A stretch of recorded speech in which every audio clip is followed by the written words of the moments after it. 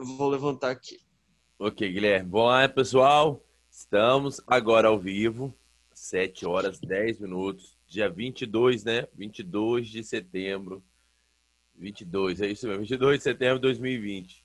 Só o seguinte, na aula passada nós falamos um pouco sobre ditadura militar, civil militar. Ok.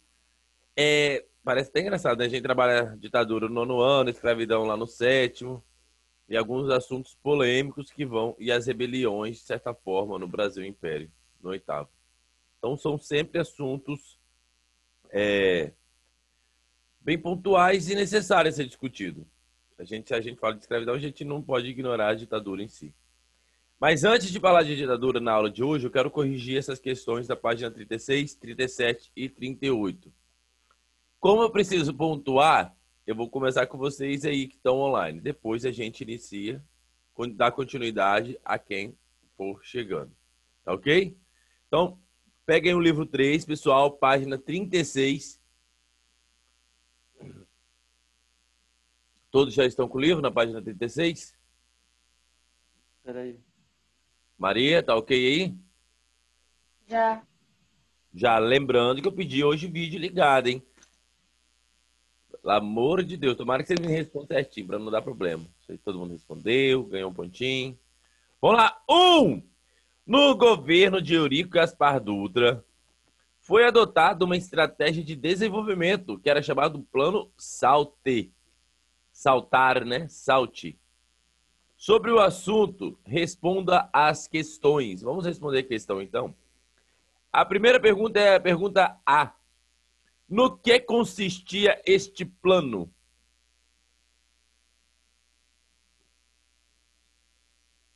Era para quê? Era para guerra? Posso responder? Pode, Maria.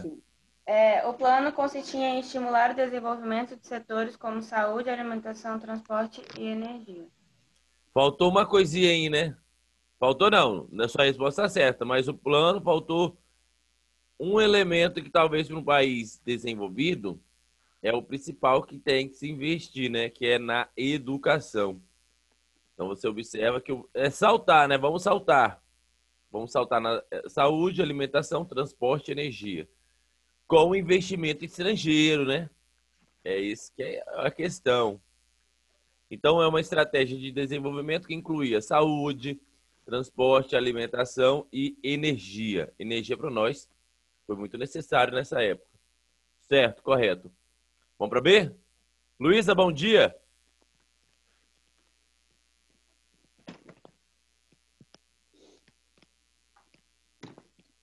Luísa Coutinho. Bom Você falou dia. comigo, Thiago? Sim, agora sim. Bom dia. Bom dia. Nós estamos fazendo a correção aqui da 36, 37 38, tá? Maria já fez a primeira. Vamos lá. Guilherme, o plano alcançou seus objetivos? Justifique sua resposta.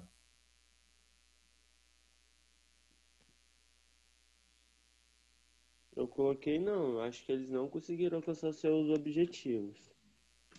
Porque começou a fazer parte do orçamento de 1949, né? E Sim. em 1951 já era Getúlio Vargas.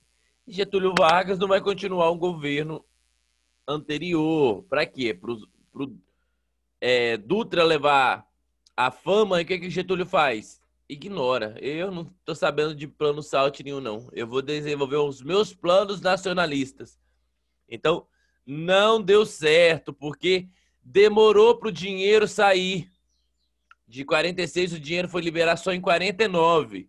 Então, o que, que eu vou fazer agora? Deixa com Getúlio. Getúlio dá jeito. E Getúlio governou da forma dele lá depois que a gente vai falar.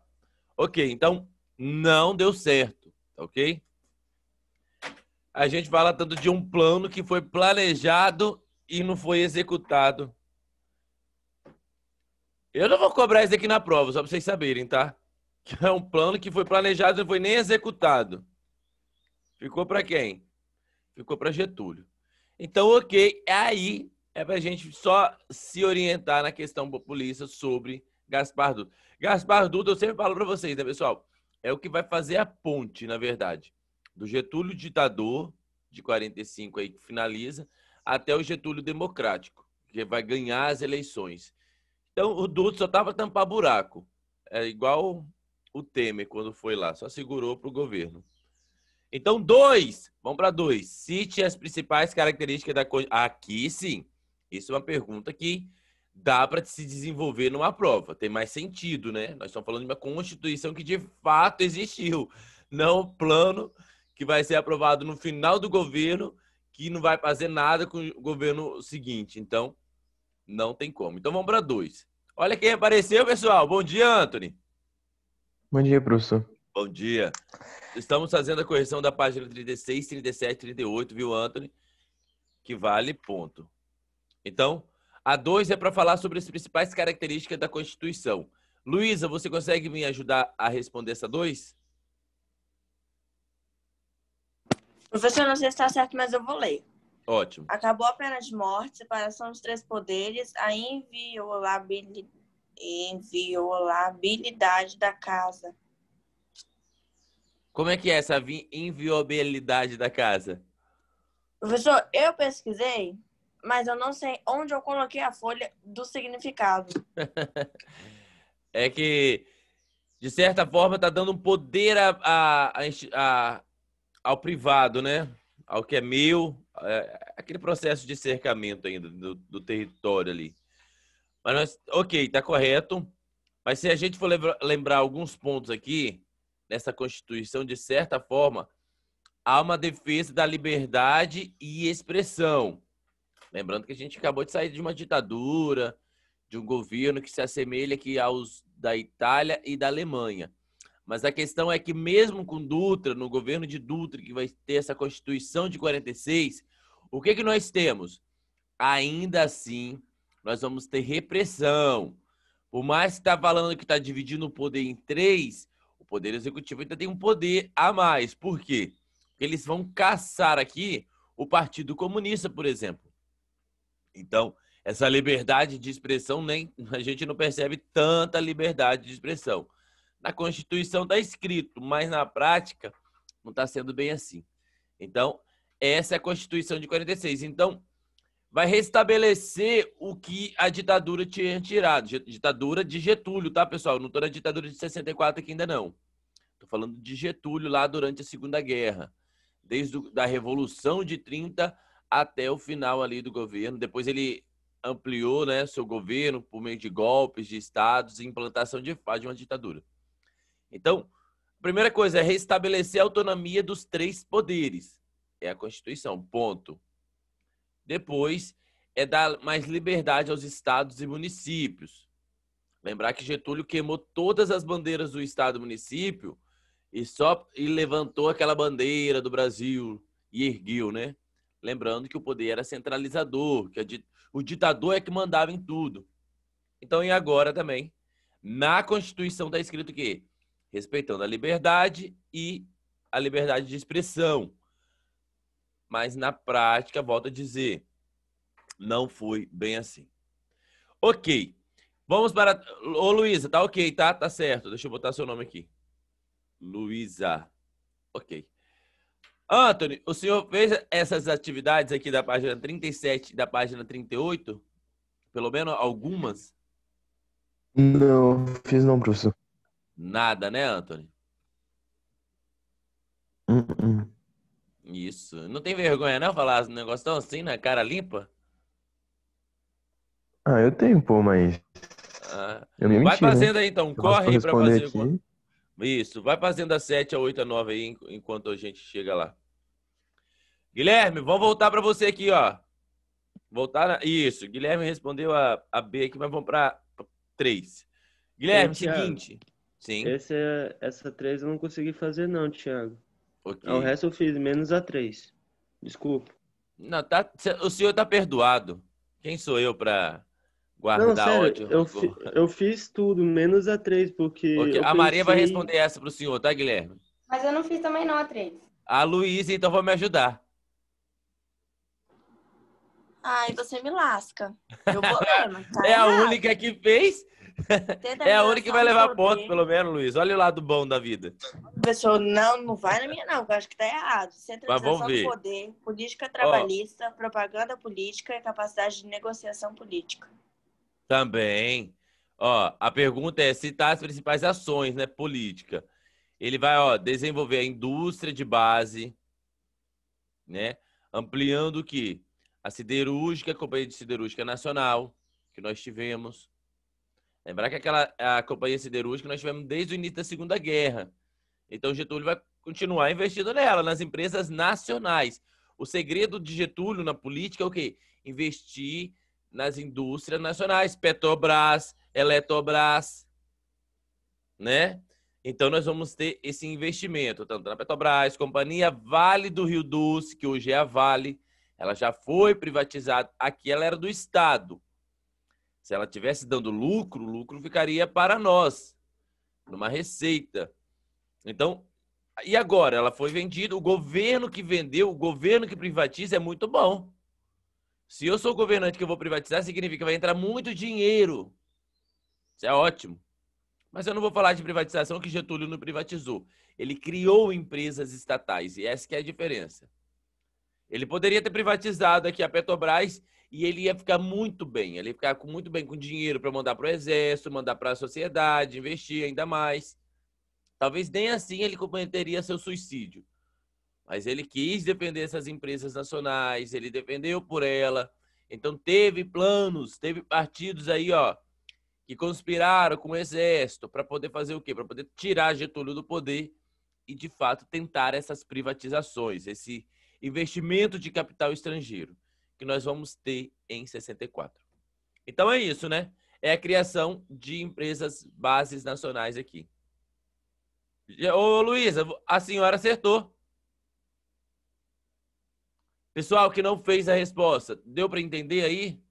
Que não fez a 3, deu para entender essa resposta certinha, tá ok? Ou tem Sim, perguntas?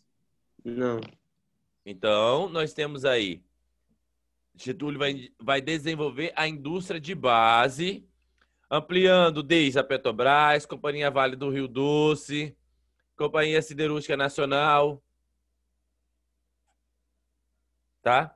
Lembrando que ele visava privilegiar, proteger a indústria nacional. Eu tô querendo espirrar. Tô fazendo essas caretas. Vai. Quatro. Vamos para quatro. Anthony, o senhor fez a quatro?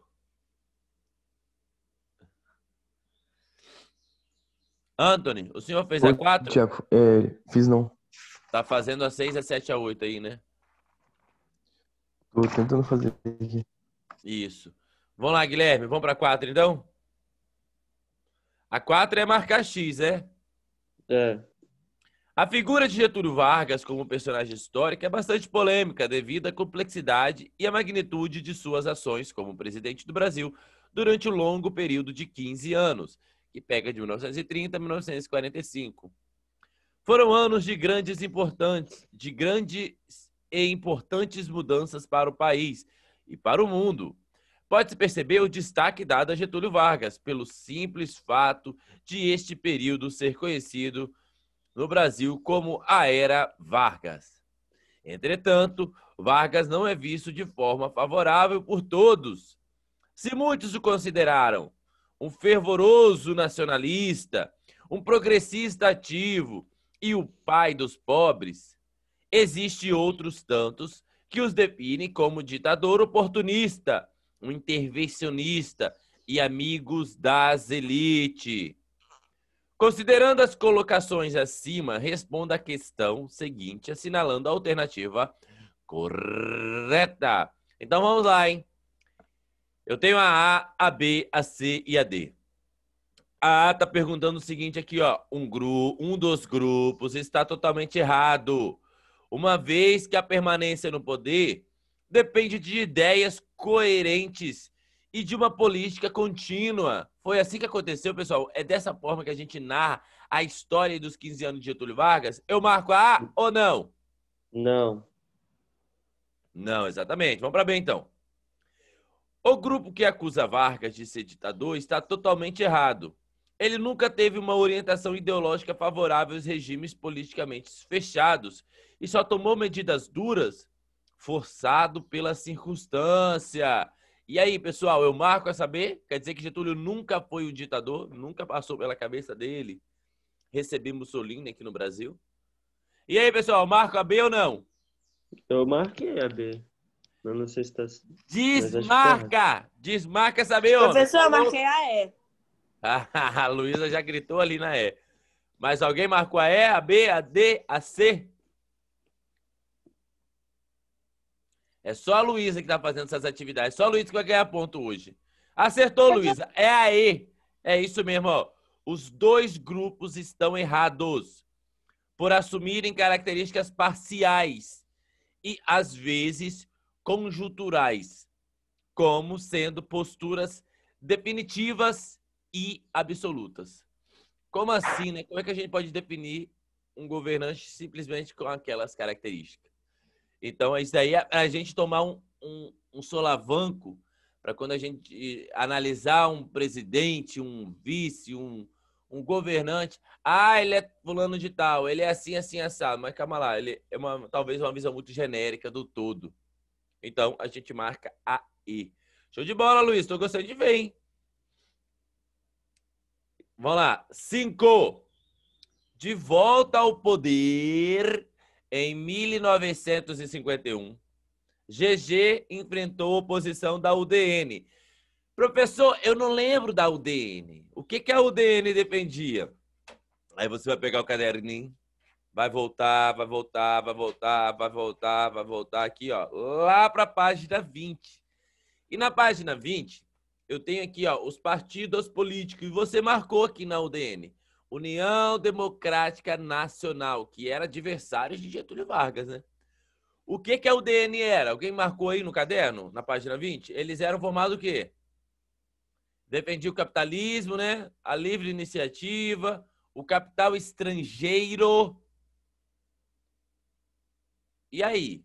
Essa UDN, de certa forma, estava alinhado mais com os interesses dos Estados Unidos do que os interesses nacionais. Tem muito a ver com o que a gente leu aqui também na página 24, que fala daqui, ó, os entreguistas defendiam a ampliação de capital estrangeiro para o desenvolvimento do país, a intervenção mínima do Estado na economia e o combate à inflação, consequência da política econômica de Dutra. Então, os entreguistas queriam entregar, né, de certa forma. Diziam que nós, brasileiros, nós próprios, não saberíamos cuidar das nossas empresas nacionais. Então, a gente percebe como que o pensamento político da UDN se, se posicionava, né? Favorável a quais grupos e quais interesses nós estamos percebendo. Então vamos lá. Em 51, GG inventou a oposição da UDN, da Cruzada Democrática do Setor Militar, e de grande parte da imprensa. Então eu tenho os exércitos de um lado, a UDN do outro, a mídia do outro. E essa mídia, a gente está falando da mídia que hoje tem um grande poder nacional, que a gente fala de qual? Da Globo, né? Só que não era televisão, era o jornal o Globo. Então nós estamos falando aqui, ó. A oposição ficou mais acirrada a cada ano de seu governo. Explique quais motivos levaram ao descontentamento desses grupos. Tá fácil, né? Já falei tudo ao contrário, é só vocês pegarem ali justamente o que eu não disse. Se eu tenho os entreguistas de um lado, quem é que era, estava do outro? Vamos lá. Metel e Anali chegaram aqui na, na um pouco atrasados, então lembrando que essas atividades aqui elas têm um valor avaliativo. Então eu vou jogar para Metal ou para Ana. E aí, alguém quer me responder essa 5 da página 37? Deixa eu abrir a página aqui rapidinho. 37, Metal.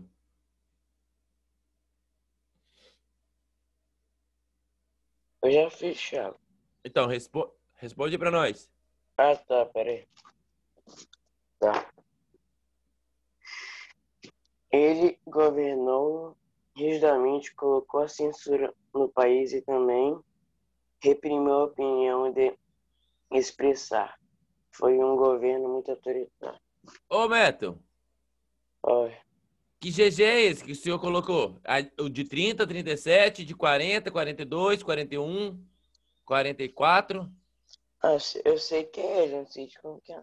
É de 51, Meto. Aí, em 51, Getúlio não era mais esse ditador, não era mais esse, esse viol- essa violência aí. Era agora mais paz e amor, Getúlio. Deve ser 51. errado. Um pouquinho, só um pouquinho. E aí, pessoal? Alguém vai ajudar o Metal aí nessa resposta?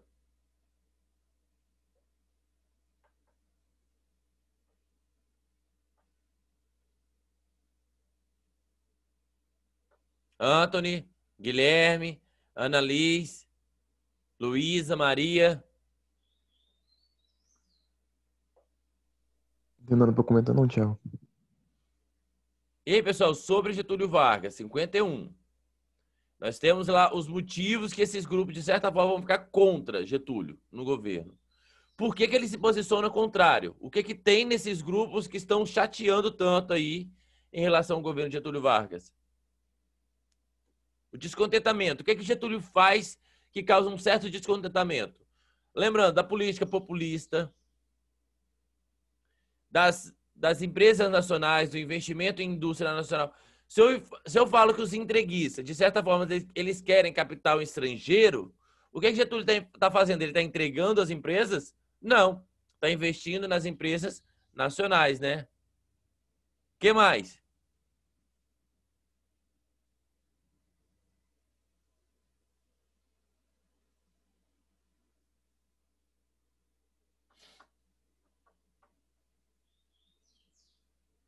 O erro foi meu de não ter pedido para ligar a câmera desde o início da aula, né? Que eu tinha falado ontem, mas tá bom. Então isso aqui ninguém marca ponto. Vamos para seis. Seis. Cite dois aspectos positivos e dois negativos da gestão Juscelino Kubitschek. JK. E aí, pessoal, das seis. Deu tempo, hein, Metal?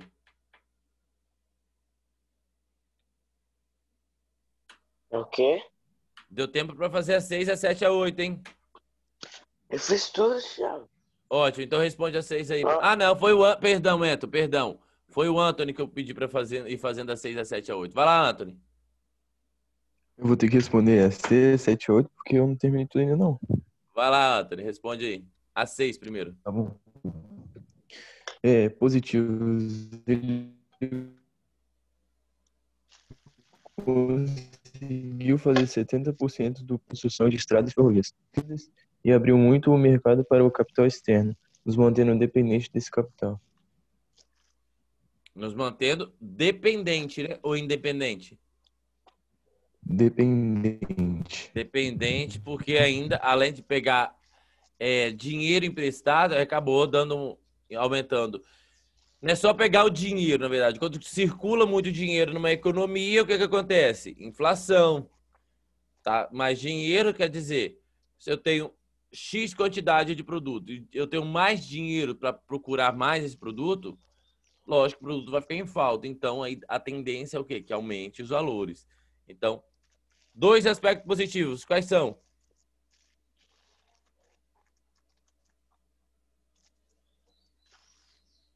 Expansão da indústria pode ser uma? Pode. Pode, acho. Incentivo, incentiva capital estrangeiro também, né? E garantiu, de certa forma, o quê? A democracia. Lembrando que era um período ali conturbado e que, de certa forma, ele garantiu a democracia. Já os negativos, nós vamos ter o aumento da inflação, o endividamento, corrupção, abandono das regiões pobres do país. Então, nós temos algumas aí contra e algumas a favor.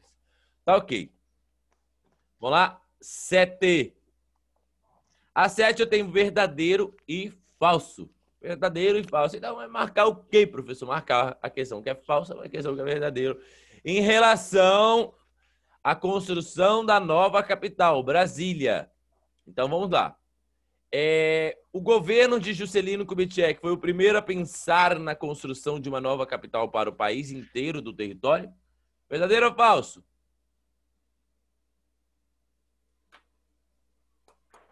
Verdadeiro?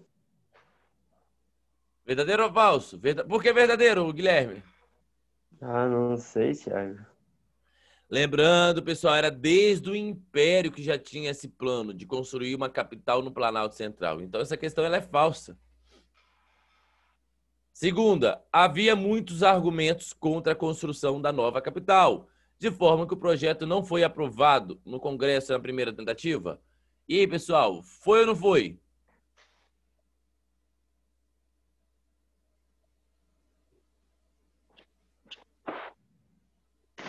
Não, Ano, não ano. foi? Não foi? Ela é falsa, ela foi. Carlos Prestes, ele criticava demais, fazia muitas críticas, mas ninguém tava nem aí para Carlos Prestes. Então, de certa forma, houve a construção. Então, falso, falso, por enquanto, hein? Brasília reuniu um grande número de trabalhadores para sua realização, atraídos do Nordeste e pro- proporcionando-lhes boas condições de vida e de trabalho. Verdadeiro ou falso? Eu acho que é falso. Porque é verdadeiro. É falso também. Não proporcionou nada de boas condições de vida, né? Viviam precários, em casinhas ali, ó, de lona, erguia, mal dava para viver. Falso, falso, falso. Vamos para a próxima.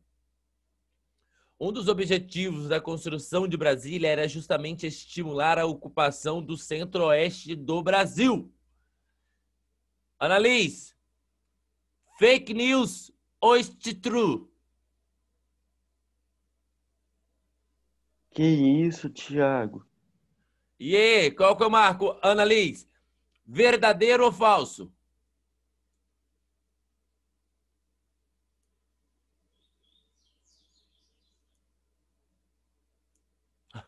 Ana saiu. Olha só, gente, pelo amor de Deus. Ao vivo acontecem essas coisas, né? Meto, me ajuda, Meto. Você que chegou agora. E aí? Um dos objetivos da construção de Brasília era justamente estimular a ocupação do Centro-Oeste? Porque é verdadeiro também. E Brasília se tornou uma pequena representação do próprio Brasil, com suas disparidades econômicas e sociais? Aí coloquei falso. É verdadeiro também. Então é verdadeiro, Ah, verdadeiro. não, essa aí eu coloquei verdadeiro achando que era falso, mas tá aqui verdadeiro mesmo. Sei. Então, é, aí. então vamos lá, ó. Falso, falso, falso, verdadeiro, verdadeiro. Ok, quem é que participou dessa foi quem, mais ou menos? Eu Eu. respondi, tá? Só a meta. Meta. A última? Maria Eduarda também. Maria Eduarda. Qual que você marcou, Maria? Eu respondi a de Brasília, das boas condições de vida e de trabalho. Ah. Hum. Show! Eu falei a segunda. Oito! Oito! Chama oito. Eu Indique. falei a segunda, hein? O senhor errou a segunda e a primeira. Não, a primeira eu errei, mas a segunda eu falei, é falso. Depois eu vou ver o vídeo. eu vou- eu vou consultar o VAR aqui para ver Guilherme, se tá você certo. errou. Você errou. Eu vou consultar o VAR, mas vai estar errado. Oito. Indica um dos motivos pelos quais Jânio Quadros renunciou. É, chega a ser ridículo, né, pessoal? Mas vamos lá. Por que, que ele renunciou? Por que, que Jânio Quadros. O que, que ele queria com isso? Quem pode me ajudar a responder essa questão? Tiago, não sei se está certo não, mas eu fiz aqui. É, pois tinha certeza de que o os militares, os governadores levariam de volta o poder. Então não. Ô, ô Anto, o que que acontece? Você fala, parece que dá umas. Eu, não, eu acho que é eu aqui, deve ser meu fone. Ele tá dando Eu não tô ouvindo também, não. Ele dá uns barulhinhos meio estranhos, Anthony. É parecendo slow motion, tá ligado? Slow É. motion. Fala de novo, ou- Anthony. Fala sem encostar no microfone, parado, só pra ler. Explica aí. Não, mas. Tá, calma aí. Isso, Rapidinho, agora, peraí. desse jeito. Isso, não deu interferência.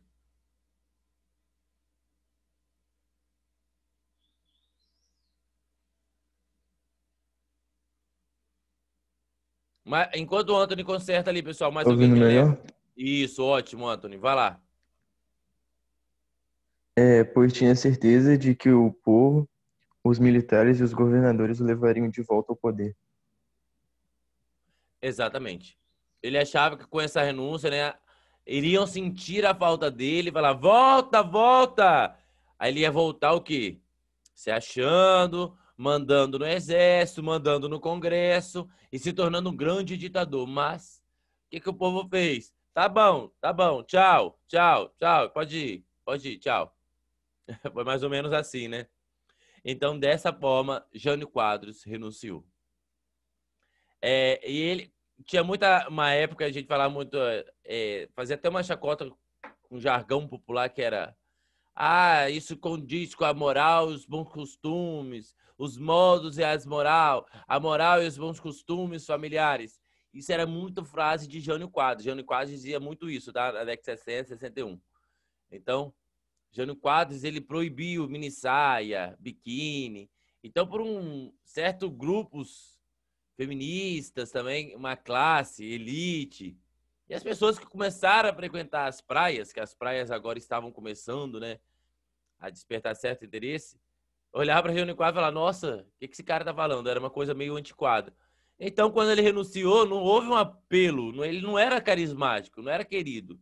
Ele já estava sendo até um pouco meio é, antiquado, né? Vamos para nove, pessoal, vamos para nove que vai dar tempo. A renúncia de Jânio Quadros causou transtornos políticos que abalaram o Congresso Nacional. Por quê? Por causa do seu vice. A solução encontrada para a posse de João Goulart, ou seja, o Jango, na presidência em 1961. Então vamos marcar a questão verdadeira aqui da sobre Jango. Então eu tenho a conseguiu harmonizar os interesses e afastar as dificuldades políticas. Eu tenho a B. Não teve a participação de militares, mas apenas do partido político mais forte, a UDN. Estranho, né? C. Não conseguiu desfazer as tensões políticas por inteiro, sobretudo a insatisfação de grupos da burguesia e de militares, que temiam propostas defendidas por Jango. D. Não teve a participação das forças de esquerda. E teve amplo apoio dos militares, mais expressivos politicamente, e dos grupos e dos partidos políticos de ideologia liberal. E, pessoal, qual que eu marco nessa nove? A, B, C, D ou A, E? Professor, acho que é a C. Quem mais, pessoal? Eu também Eu marquei C também. Meta também. Quem mais? Eu também Tem certeza, Guilherme? tenho. É a C, né, pessoal? É isso mesmo. Não conseguiu desfazer as tensões políticas e por inteiro, sobretudo a insati- insatisfação de grupos da burguesia e de militares que temiam as propostas defendidas. Propostas quais eram essas? Propostas sociais, propostas de defenderem a camada mais pobre da população. Então, de certa forma, grupos não gostaram disso. Como que o Estado vai defender os mais pobres? Como que o Estado vai cuidar das pessoas necessitadas? Pois é, né? É o certo, né? Tinha que ter feito isso mesmo, mas um grupo aí não concordou com essas ideias, só pra gente entender, tá? É, cadê Ana? Hoje Ana Beatriz e Isabela não entraram na aula, né? Poxa. Então vamos lá, vamos fechar. Então, Antônio respondeu. Ana Liz, vamos fechar na 10 então, para Ana responder. Senão Ana nem participou direito. Ana,